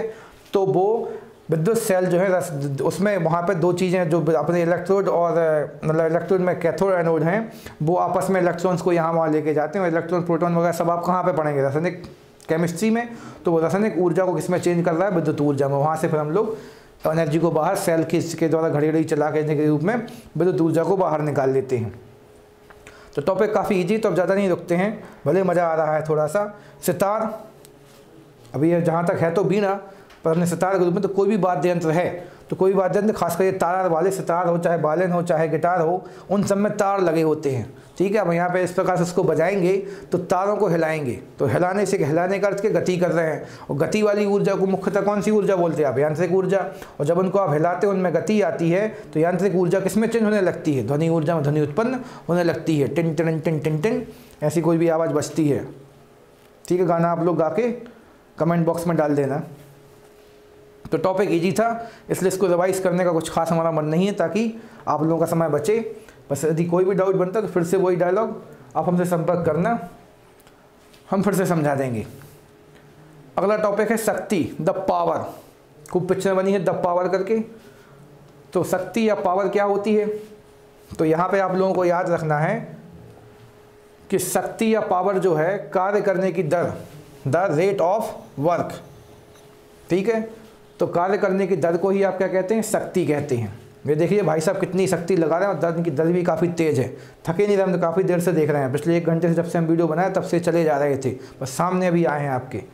बॉडी थोड़ी काफ़ी बन चुकी है। एकदम हंकी बॉडी बन रही नीचे कमर पतली, सीना चौड़ा। आसानी से दस से बारह इंच सीना फुलाएँगे। अपन लोगों को तो सेंटीमीटर में फुलाना होता है। हाँ बाल झड़ गए हैं उनके तो वो सब ठीक है, क्या कर सकते हैं? मेहनत करते हैं तो वो तो ऊर्जा एक रूप से दूसरे रूप में चेंज होती है। एनर्जी के रूप, शक्ति के रूप में एनर्जी अंदर जा रही है, बाल कहाँ जा रहे हैं? बाहर जा रहे हैं उनके। ठीक है तो मज़ाक फिर बाद में कर लेंगे। आपको बस यहाँ पे एक डाउट क्या बनता है परीक्षाओं में? तो हम लोग को ध्यान देना है, कार्य करने की दर शक्ति है और पीछे हम लोगों ने पढ़ा था कार्य करने की क्षमता। ऐसे क्वेश्चन रीजनिंग में भी आते हैं। यदि क्षमता कार्य करने की क्षमता क्या थी? क्षमता बिगड़ गया है थोड़ा सा लिखने में। ऊर्जा। तो रीजनिंग में कैसे क्वेश्चन बनेंगे? क्षमता का जो संबंध ऊर्जा से है तो दर का वही संबंध किससे है? तो आप बोलेंगे शक्ति। कार्य छपा लेंगे बोलो यदि पूरा लिख दिए तो फिर तो मज़ा ही आ जाएगा। कार्य करने की क्षमता का संबंध ऊर्जा से है तो कार्य करने की दर का संबंध किससे? शक्ति से। तो जीके के क्वेश्चन रीजनिंग में भी देखने मिलेंगे आपको। एस एस सी रेलवे में तो पक्का आते हैं। अब हम लोग एम पी कांस्टेबल जैसी परीक्षा में भी आएँगे, क्योंकि आप सबको पता है एम पी कांस्टेबल में मैथ्स और रीजनिंग काफ़ी ज़्यादा आने वाले हैं। और रीजनिंग का वेटेज भी काफ़ी अच्छा रहता है। तो जहाँ पे वो लोग क्वेश्चन को घुमा फिरा के पूछने की पूरी कोशिश करते हैं, ताकि कॉम्पिटिशन को कम किया जा सके और छटनी की जा सके।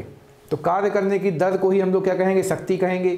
तो इसका सूत्र क्या होता है? आप लोगों को शायद याद है, कार्य जब भी हमने पीछे कई बार समझाया, जब भी दर शब्द का उपयोग होगा तो हम लोग को बटे में कौन लिख देना है? समय लिख देना और समय मतलब सेकंड वैसे यहाँ पे सेकंड रखना थोड़ा सा अभी अजीब है। पहले हम लोग लिखते कार्य बटे समय। और फिर कार्य का मात्रक जूल और समय का मात्रक क्या हो जाएगा? सेकंड तो शक्ति का मात्रक हो जाएगा जूल प्रति सेकंड तो यानी हम लोगों ने कैसे मतलब हमने कुछ लिख रखी लाइनें, इसको पढ़ लें तो ये बीच में जो जेम्स वर्ड लिखे हैं, वो निकल के हमें घूसा घूसा मार सकते हैं, शायद ये ना हो जेम्स वर्ड साहब तो काफ़ी गुस्से में भी दिख रहे हैं, क्योंकि हमने उनकी थोड़ी सी बुराई कर दी पीछे. तो यदि किसी कर्ता द्वारा डब्लू कार्य टी समय में किया जाता है तो कर्ता की शक्ति क्या होगी? डब्ल्यू अपॉइंट टी क्यों? क्योंकि डब्ल्यू ऊपर कौन है? डब्ल्यू ऊपर कौन है? कार्य और टी उसका समय है, लगना, लगने वाला समय. तो शक्ति का फिर ऐसा ही मात्रक, शक्ति ना कि शक्ति कबूल, नहीं तो आप आओ आओ करने लगें।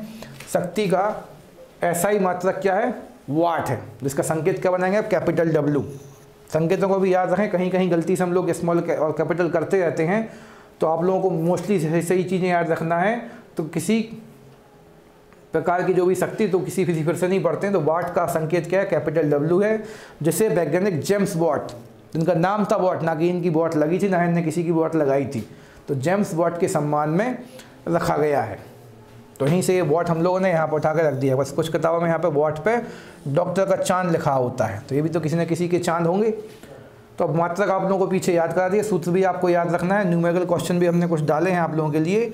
तो शक्ति का सूत्र बनेगा कार्य बटे समय और मात्रक बन जाएगा जूल पर सेकंड, जिसे हम लोग केवल एक शब्द में क्या नाम दे देंगे? वाट ठीक है? तो ये हो जाएगा उसका व्युत्पन्न मात्रक। ये भी व्युत्पन्न मात्रक है, लेकिन व्यवहारिक मात्रक, जिस नाम से फ़ेमस है। और और जो हम लोगों को पता है, पीछे हमने शायद बताया था आपको कि एक जूल बराबर होता है, दस के ऊपर सात अर्घ। यदि नहीं बताया तो आप बता देते हैं। ठीक है? इसके लिए सॉरी, शक्तिमान नहीं बताया यदि तो। एक जूल बराबर होता है, दस के ऊपर सात अर्घ। ठीक है? ये संबंध में पूछा हमने, जहाँ तक आप लोगों को। एक न्यूटन बराबर दस के ऊपर पाँच, डाइन बताया था। तो आज हमने आपको अर्घ भी बता दिया। इजी टॉपिक है ये वाला भी तो एक जूल बराबर होता है दस के ऊपर सात अर्घ। तो यहाँ पे आप लोग देख रहे हैं, हमने वाट को किसमें चेंज करने की कोशिश की है? अर्घ प्रति अर्घ प्रति सेकंड में। तो वो कैसे आपको पता है, जूल की जूल की ही वैल्यू अर्घ के रूप में क्या होती है? दस के ऊपर सात। तो हमने जूल की जगह पे ये लिख दिया, दस के ऊपर सात, और नीचे सेकंड का क्या सेकंड जम होते रहा। तो एक वाट को यदि आप अर्घ के रूप में दिखलाना चाहते हो तो आपको ten to the power seven अर्घ और बटे में लेकिन नीचे सेकंड तो लिखना ही पड़ेगा। ठीक है? तो फिर से वापस आ जाते हैं। शक्ति का सामान्यतः व्यवहारिक मतलब क्या है? वाट है। तो सामान्यतः एक वाट है। यदि आप उस एक वाट को किलो वाट बोलते हो तो आप सबको याद है, किलो का मतलब ही क्या होता है? किलो का मतलब ही होता है एक हज़ार। ठीक है?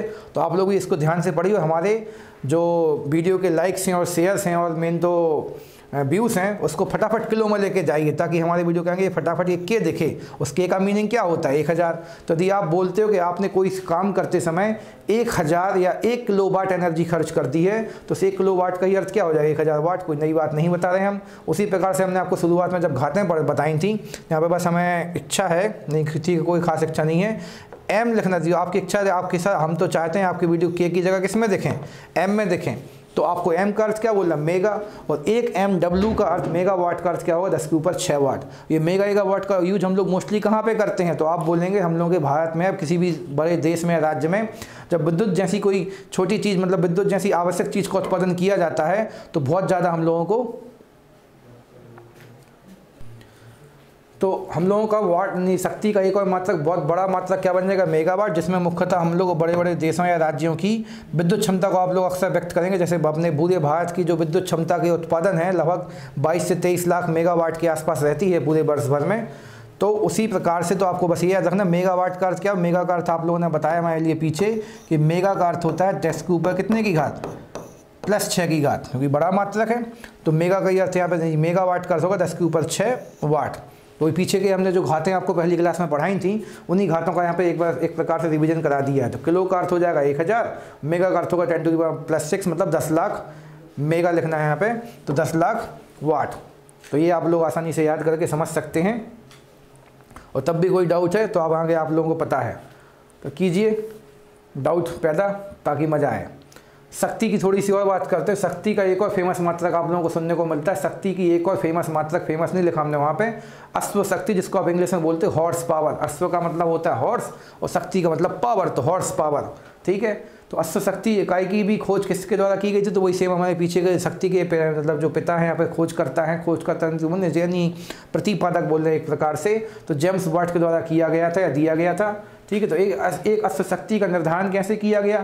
तो एक अस्त्र शक्ति को हम लोग सामान्यतः 746 वाट के रूप में जानते हैं, ठीक है? एक अस्त्र शक्ति को हम लोग सामान्यतः 746 वाट के रूप में जानते हैं। तो वो 746 जो वाट है यदि उसको कभी पूरा इस प्रकार से पढ़ेंगे तो अभी यहाँ पे हमने कम समझाया तो एक एक अस्त्र एक अस्त्र शक्ति या हॉर्स पावर की जो सात सौ छियालीस वॉट है तो उसको आप 550 फुट एलबीएस भी लिख सकते हैं। तो ये एक हमारे एक प्रकार से एफपीएस पद्धति का मात्रक है एल बी एस जहाँ पर एल का कोई खास फुल फॉर्म नहीं होता, बस वो एक लैटिन भाषा का शब्द है लिब्रो सेकंड कर, करके दिखता है उसका मतलब फुल फॉर्म तो एलबीएस मतलब फुट एल बी एस मतलब लिब्रो सेकंड ये मिलेगा। तो ये थोड़ा सा ऑड है। इसके पास अभी समझाने के लिए हमारे पास ज़्यादा शब्द नहीं है। आप लोगों के पास कुछ खास हो तो आप लोग कमेंट बॉक्स में डालिए कि सर ऐसा होता है वैसा होता है। हमें एक, एक पिक्चर मिली इससे संबंधित कि पावर का एक और मात्रा कम लेगा पाँच सौ पाँच एल बी एस फुट प्रति सेकेंड जो कि एक हॉर्स पावर मतलब सात सौ चालीस वाट के बराबर है। और जो कि घोड़े द्वारा किया गया काम है। यदि वो पाँच सौ एल बी एस का मतलब पाउंड भी होता है वैसे तो जब हमारा घोड़ा पाँच सौ पचास पाउंड की चीज़ को 550 पाउंड की चीज़ को एक फीट खिसकाता है। तो कितनी एनर्जी खर्च कर देगा वो? 740 वाट खर्च कर देगा। और सबको पता है, एक पाउंड बराबर कितना होता है? हमने जहाँ तक पीछे बताया था। एक पाउंड बराबर होता है सात चार सौ तिरपन दशमलव छः ग्राम मिलीग्राम नहीं। तो आगे चलते हैं एम जी तो वहाँ पे भार है। आप नहीं सोचेंगे, सर एम का मतलब मिलीग्राम लिखा है। यहाँ पे एम का मतलब क्या होता है? आपको बताया गया है। भार का सूत्र क्या होता है? एम जी मतलब द्रव्यमान गुणा गुरुत्वाकर्षण तो ये वो लिखा ना कि मिलीग्राम लिखा नहीं तो आप लोग सोचें सर एल बी एस का मतलब मिलीग्राम है। तो ये भी याद रखें, थोड़ा सा नया पॉइंट है तो 550 foot L B S F P S पद्धति का मात्रक है ना कि सी जी एस का। आगे चलते हैं 746 को यदि आप लोग 746 को यदि हम लोग 10 के ऊपर माइनस सात मतलब सीधी बात है, इस वॉट को हम लोग किसमें लेके चले गए हैं? अर्घ सेकंड में, पीछे ही आप लोगों ने पढ़ा है कि एक वाट का ही अर्थ क्या होता है? दस के ऊपर प्लस सेवन अर्ग पर सेकेंड ऐसी कुछ चीज़ें लिखी मिलती हैं मोस्टली बुक्स वगैरह में नोट्स वगैरह में तो हमने आप लोगों को कोई भी डाउट ना छोड़ते हुए इसको पूरा कम, यानी एक्सप्लेन करने की कोशिश की है कि 746 वाट को यदि आप लोग अर्ग सेकंड में चेंज करना चाहने, चाह रहे हैं तो हम लोग को पीछे बताएगा एक वाट बराबर दस के ऊपर प्लस सात अर्ग प्रति सेकंड तो आपने यहाँ पर दस के ऊपर सात से गुणा कर दिया और वाट को किसमें चेंज कर दिया? अर्ग प्रति सेकंड में चेंज कर दिया। अब यदि आपकी इच्छा है, यदि आपकी इच्छा है कि हम लोग यहाँ पे एक किलो वाट में लेके आएँ, इसको एक किलो वाट में लेके जाएँ तो किलो का अर्थ क्या हो गया? हज़ार। और वाट की वैल्यू आपने 746 और इससे भी भाग लगाया है तो हम लोगों को मात्र कितना मिलने वाला है? 740 थोड़ी सी प्रिंटिंग मिस्टेक लग रही है हमारे लिए कि नहीं लग रही है? तो अच्छा हॉर्स पावर की वैल्यू यहाँ पे बस थोड़ा सा यहाँ पे प्रिंटिंग मिस्टेक नहीं, बस आपको ये एक्सप्लेन करना है कि एक हार्स पावर को यदि आप किलो वाट में व्यक्त करोगे तो एक किलो वाट में कितने हार्स पावर निकलेंगे? तो आपको पता है सात सौ छियालीस वाट का अर्थ होता है एक हार्स पावर तो एक हज़ार एक हज़ार वाट अर्थात एक हज़ार, एक एक किलो वाट का मीनिंग क्या होगा एक हज़ार बटे सात सौ छियालीस मतलब एक दशमलव तीन चार एच पी तो कुछ खास नहीं किया है। एक हज़ार से, एक हज़ार में सात सौ चालीस से भाग रहा है तो लगभग वही एक सभा के आसपास कटेगा। तो वन पॉइंट थ्री फोर हम लोगों का आंसर है। एक और परीक्षाओं में चीज़ देखने को मिलती है आपको वाट सेकेंड। इसको समझाना काफ़ी आसान होता है। ये भी आसान तो थोड़ा सा बस फंस जाते हैं कभी कभी वो कॉन्फिडेंस में। तो आप लोग मत करना और समझें उसको। तो वाट सेकेंड कैसे निकलेगा? तो आप सबको याद है कि वाट वाट नहीं लिखना, वाट लिखना, वाट तो हम लोगों को अपने पेपर फिर से वही वाट ही वाट निकल रहा है अब तो हाँ। हम लोगों को याद है, शक्ति का मात्रक होता वाट। और शक्ति का सूत्र क्या था? कार्य बटे समय। ठीक है? कार्य बटे समय था। तो कार्य बटे समय से कार्य का मात्रक क्या था? जूल। और बटे में कौन लिखेंगे आप? सेकंड। तो जूल का एक और मात्रक क्या बन जाएगा? तो यदि आप यहाँ से एक्सप्लेन करेंगे। यहाँ पे लाइन खींचते हैं अलग नया टॉपिक चालू कर दिया हमने, इसको मिटा देते हैं अब ये आप लोग समझ गए, हमने यहाँ पे यूज़ किया है। तो जूल का मात्रक क्या बनेगा? वाट इंटू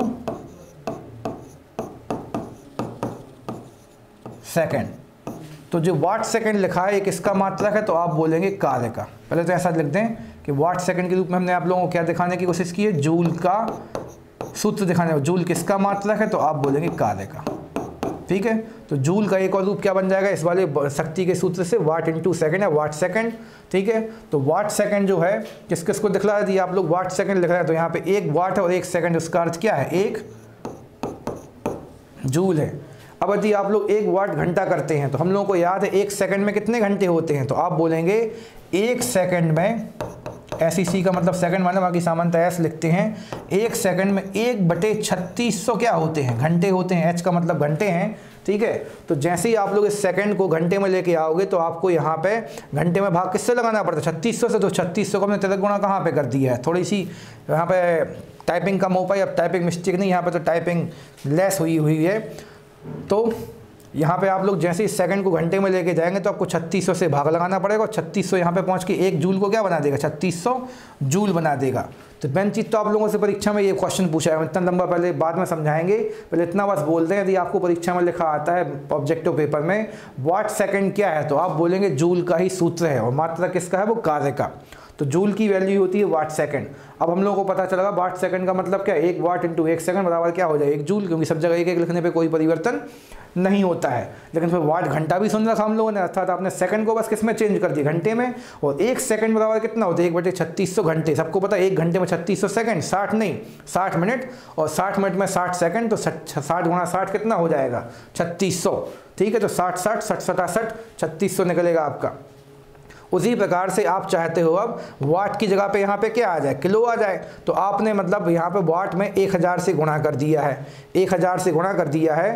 तो एक हज़ार से गुणा करने पे आपको किलो दिखने लगेगा और एक किलो वाट घंटे का अर्थ हो जाएगा एक हज़ार वाट घंटे। अर्थात आपने यहाँ पे इस छत्तीस सौ में, इस छत्तीस सौ वाली राशि में, इस छत्तीस सौ वाली राशि में एक हज़ार से और गुणा कर डाला और अपनी लाइफ को बना डाला झिंगा लाला। तो छत्तीस सौ गुणा एक हज़ार और साथ में आपको अब सामने जूल लिखा दिख ही रहा है तो अब यह पूरा मात्रक तो जूल में चल रहा है। तो इसको हम लोग ये, इस वाले फॉर्म में क्या लिखा दिखता है? तो ये कैसे लिखा दिखता है? आप लोग देख पाए, एक और दो, तीन, चार, पाँच। तो पाँच छत्तीस गुणा दस के ऊपर पाँच की घात तो आप लिख सकते हो, लेकिन आप लोग देख पा रहे हो, यहाँ पे तीन दशमलव छः लिखा, अर्थात यहाँ पे क्या हुआ है? दस से गुणा और दस से भाग। तो जब आपने हमने भाग लिखा तो दस से गुणा और दस से भाग। तो ये इसको भाग देगा तो थ्री पॉइंट क्या देखेगा? सिक्स और ये यहाँ जाके दस के ऊपर कितने की घात बना देगा? प्लस की छः तो आप लोग एक किलोवाट घंटे को ही किस रूप में दिखलाते हैं? Three point six into ten to the power six joule तो एक क्वेश्चन सीधा ये बन सकता है कि एक लो वाट घंटे का मान कितना जूल होता है? तो ये भी क्वेश्चन परीक्षा में देखा गया है, इसलिए हमने टॉपिक थोड़ा सा लेंदी और बोरिंग होने के बाद भी ये वाली चीज़ शेयर की। पीछे तो बहुत मज़ा आया था हम लोग जब घोड़े वोड़े दौड़ा रहे थे तो ये टॉपिक थोड़ा सा लेंदी हुआ पे मैथमेटिकल कॉन्सेप्ट ज़्यादा यूज़ करने पड़े हम लोगों को, लेकिन तब भी आता है, इसलिए हमने यहाँ पर सुझाता है। मिक्सर नहीं, सुझाया वाला सुझाता है। फटाक से मिटा दिया, क्योंकि टॉपिक थोड़ा सा बोरिंग था, और वीडियो भी लंबी हो रही है। जिसको आप लोग रिवाइज कीजिए और हम लोगों से संपर्क कीजिए। तो कुछ क्वेश्चन करने के लिए हमने जो पीछे इस चैप्टर में जो फार्मूले सीखे हैं, उनके कुछ क्वेश्चन आप लोगों से शेयर करने की प्रयास किए हैं यहाँ पे। करने की नहीं, करने के प्रयास किए हैं। तो यहाँ पे देखते हैं ये वाला क्वेश्चन हम पे बनता है कि नहीं बनता है। 20 किलोग्राम की वस्तु पर 40 जूल का कार्य करके कितना बेग प्राप्त किया इसका ये तो हम पे बनेगा। तो क्यों नहीं बनेगा? हमने तो बनाया है। तो 40 किलोग्राम की वस्तु तो किलोग्राम की वस्तु, किलोग्राम किसका मात्रक है? तो आप बोलेंगे सर द्रव्यमान का, मास का। तो हम लोगों को द्रव्यमान अर्थात m का मान कितना दिया गया है? तो आप बोलेंगे सर 20 किलोग्राम दिया गया है। 40 जूल के रूप में हम लोगों को क्या दिया गया है? कार्य। और आप सबको पता है कार्य ही क्या होती है? ऊर्जा। मैंने तो इसी चीज़ को सिखाने के लिए हमने आपको ये वाले सूत्र, सवाल दिखाने की कोशिश की है यहाँ पे। तो कार्य ही ऊर्जा है। और ऊर्जा का मान हम लोगों को कितना दिया गया है? चालीस। जूल दिया गया और फिर आपसे क्या पूछा गया है? बेग पूछा गया है। ठीक है, बेग को, कार्य को तो आप लोग डब्लू लिखते हैं, ऊर्जा को हम लोग ई लिखते हैं, और बेग को हम लोग क्या लिखते हैं? वी लिखते हैं। तो ऐसा कौन सा सूत्र है जहाँ पे कार्य या ऊर्जा हो और एम और वी भी हो? तो फटाक से आपके दिमाग की बत्ती जली, बल्कि ट्यूबलाइट जली।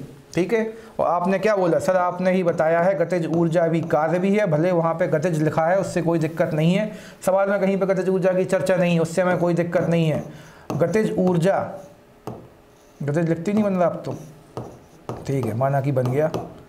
तो गतिज ऊर्जा, जो कि कार्य भी है। जो हम लोगों को पता है, कार्य ही क्या है? ऊर्जा है।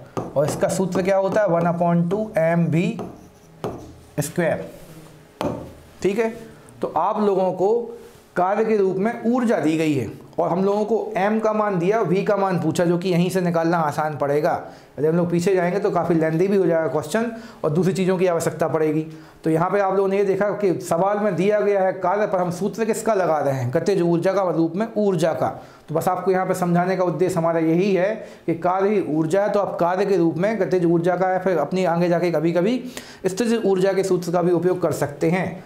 और गतिज ऊर्जा के रूप में आपको कार्य की वैल्यू कितनी दी गई है? 40 जूल तो अब यहाँ पे आप 40 जूल रख देंगे। जूल रखने की ज़रूरत नहीं है, बस मात्रक चेक कर लें कि सारे मात्रक ऐसे ही पद्धति में दिए हैं कि नहीं दिए हैं। द्रव्यमान का मात्रक ऐसा ही मात्रक क्या किलोग्राम होता है? तो आप बोलेंगे हाँ हाँ होता है। अब आगे चलते हैं। एक बटे दो एम का मान कितना दिया हम लोगों को? बीस, और वी का मान हम लोगों से पूछा गया, उस पर स्क्वायर भले लगाया तो कोई दिक्कत नहीं है। दो से कट जाएगा दस बार, और ज़ीरो ज़ीरो कट जाएँगे। तो चार की वैल्यू केवल कौन बचेगी? वी स्क्वायर के बराबर। तो ये चार किसका वर्ग है? दो का वर्ग है। और ये इसका वर्ग है तो वी वी स्क्वायर इसके दोनों पक्षों का मूल करने पर रूट करने पर फिर इस प्रकार से लिख देते बाकी लिखना नहीं चाहिए हमें। तो वी की वैल्यू क्या बचेगी? दो। ये काटना ही लिखना चाहिए। कुछ लोग जो समझदार हैं, जिन लोगों ने पीछे दसवीं क्लास मन लगा के पास की है, उन लोगों को पता है। पर वी की वैल्यू तो कितनी आ जाएगी? दो। और वी की वैल्यू दो आई है तो उसका मात्रक क्या बनेगा? तो आप बोलेंगे, सर, मीटर पर सेकंड ये तो बेग है वेलोसिटी है। वेलोसिटी का यूनिट क्या होता है? मीटर पर सेकंड तो ये हमारा आंसर हो जाएगा, मीटर पर सेकंड तो कुछ खास नहीं था, बस फिर से वो एक चीज़ बोल देंगे कि कार्य ही ऊर्जा है, और यहाँ पे हम लोगों को m का मान दिया गया था, v का मान पूछा गया था। तो m v कहाँ पे मिलते हैं आपको? तो आप बोले से एम बी स्क्वायर में मिलते वो किसका सूत्र गतिज ऊर्जा का। तो गतिज ऊर्जा को ही हमने कार्य माना और कार्य की वैल्यू गतिज ऊर्जा की जगह पर रख के अपना आंसर निकाल डाला और उत्तर को कर दिया झिंगा डाला अब आगे बढ़ते हैं। एक और क्वेश्चन है छोटा सा। दस सेकेंड तक 30 वाट की शक्ति से कितनी ऊर्जा खर्च होगी? तो तो क्वेश्चन इजी बन गया है गलती से। साफ़ शब्द में लिखा है यहाँ पे शक्ति। तो आप लोग शक्ति का सूत्र लगा डालोगे। तो थोड़ा सा आउटलाइनिंग कर दें। सेकंड के रूप में हम लोगों को क्या दिया है? समय। जिसको हम लोग टी से दर्शाते हैं वैसे तो तो ये इतना दिया, दस सेकेंड फिर वाट के रूप में हम लोगों को क्या दी गई है? शक्ति, जिसको हम कैपिटल पी से दर्शा रहे थे। स्मॉल पी से दर्शाते हैं, ना कि कैपिटल पी से तो हम मोमेंटम को, संवेग को दर्शाते हैं। ठीक है? तो शक्ति को पी से दर्शाए तो इसका मान कितना दिया हमने? तीस वाट मतलब कैपिटल डब्लू वो एस स्मॉल है जबकि। और हम लोगों से ऊर्जा पूछी गई है। और ऊर्जा को ही आप क्या बोलते हैं? कार्य ये हम बार बार आप लोगों को बस इसीलिए बता रहे हैं ताकि परीक्षा में जाके आप वो कर सको जो अब तक नहीं बनता था, क्योंकि हम लोगों को अब वो बनना है जो अब तक हम लोग नहीं बने हैं, वर्दीधारी। तो ऊर्जा की वैल्यू हम लोगों को निकालनी है। तो हम लोग कार्य के रूप में निकालेंगे, क्योंकि आप सबको पता है, शक्ति का सूत्र क्या होता है? शक्ति कपूर नहीं, शक्ति। बस, पावर का सूत्र क्या है? कार्य बटे समय, क्योंकि कार्य करने की दर और दर का ही अर्थ है बटे में समय लिख देना। तो हारमोन ने दर छोड़ दिया, समय नहीं छोड़ा था। हाँ पिट्यूटरी हारमोन, पीयूष ग्रंथि। तो कार्य बटे समय, शक्ति कितनी दी गई आपको? तीस। अब आप बोलोगे, सर, फिर से आपने ऊर्जा की जगह कार्य रखा तो आपको फिर से वही बोलेंगे, ये शक्ति यानी ऊर्जा ही कार्य है। तो हम लोग ऊर्जा की, यानी ऊर्जा की मान पूछा गया तो हम लोग कार्य का मान निकालेंगे और वही ऊर्जा कहलाएगी। तो कार्य को कार्य ही रहने देते हैं, और चाहो तो आप लोग इच्छा है तो उसको हम ऊर्जा लिख देते हैं यहाँ पे, क्योंकि कार्य को ही ऊर्जा लिखा जा सकता है। दोनों के मात्रक सेम है। और बटे में समय कितना दिया आपको? दस। तो ऊर्जा बस कितनी खर्च कर दोगे यहाँ पे? यहाँ पे ऊर्जा की वैल्यू कितनी आ जाएगी? ऊर्जा नहीं लिखना है, ऊर्जा लिखना है। अब टॉपिक इजी हो गया तो ज़्यादा मन नहीं लग रहा है। तो दस्तिया कितने हो जाएँगे? तीन सौ। और ऊर्जा का मात्रक क्या होता है? जूल। तो ऊर्जा वाला हो जाएगा तीन सौ जूल। तो बस छोटा सा डाउट बस ये दिखा था कि शक्ति का उपयोग किया, और शक्ति में हम लोगों ने ऊर्जा शब्द का चर्चा, ऊर्जा शब्द की चर्चा नहीं की थी। तो हम लोगों ने कार्य की चर्चा तो की थी। तो कार्य ही ऊर्जा है, इस कारण से आप लोगों ने ऊर्जा को कार्य कार्य मान के या कार्य को ऊर्जा मान के अपना सवाल कर डाला। तो काफ़ी इसी प्रकार से हम फिर से बोल रहे हैं कि, साइंस अभी भी हम लोगों के मध्य प्रदेश की परीक्षा में काफ़ी हद तक शुरुआती स्तर पर है। बस जहाँ पर थोड़ा सा हम लोगों से स्मार्टनेस की अपेक्षा की जाती है कि शब्दों को घुमा फिरा के पूछा जाता है। यदि आप समझ गए तो आप एक लाइन में 20 सेकंड के अंदर अपना आंसर प्राप्त कर सकते हो। तो फ़िलहाल आगे बढ़ते हैं। अगले क्वेश्चन की ओर किसी वस्तु पर 200 जूल का कार्य करने पर वह चार मिनट तक विस्थापित होती है तो लगाए गए बल का मान ज्ञात करें। तो हमारी इच्छा तो ये है कि आप लोग इसमें हम आपको हिंट दे देते हैं। यहाँ पे कार्य लिखा है, विस्थापन भी लिखा है और बल भी लिखा है। तो आपको सबको याद आया, इसमें किसका सूत्र का उपयोग होगा? कार्य के सूत्र का। तो इसको आप लोग स्क्रीनशॉट लेके रख लीजिए और इसको होमवर्क के रूप में आंसर निकालिए और हमसे कमेंट बॉक्स में शेयर कीजिए। ठीक है? इसी प्रकार का एक और क्वेश्चन है। इसका भी आप लोग स्क्रीनशॉट लेके रखिए। ये भी सेम उसी सूत्र पर आधारित है बस संख्या में थोड़ी सी आगे पीछे कर दी है। 50 न्यूटन का बल लगाने से 200 जूल की ऊर्जा खर्च होती है। तो विस्थापन का मान क्या होगा? सबको पता है, कार्य बराबर बल गुणा विस्थापन। हम हिंट भी दे रहे हैं ताकि आप लोग सही प्रकार से इस क्वेश्चन का आंसर हंट कर सकें। तो हिंट से कीजिए हंट और वर्दीधारी बनिए। ताकि कोरोना काल में यदि कभी कभी हम लोगों को डंडे पड़े हैं तो हम लोग भी आगे जाके यदि कभी वैसे इच्छा तो नहीं रखनी चाहिए ऐसी स्थिति बने, बाकी हम लोग भी किसी को डंडे मारने के योग्य हो सकें। तो इस प्रकार से आप लोगों के लिए, आप लोगों की सफलता के लिए दुआ करते हैं और विदा लेते हैं आज की क्लास से। अगली क्लास में आप लोगों से मिलेंगे। Best of luck.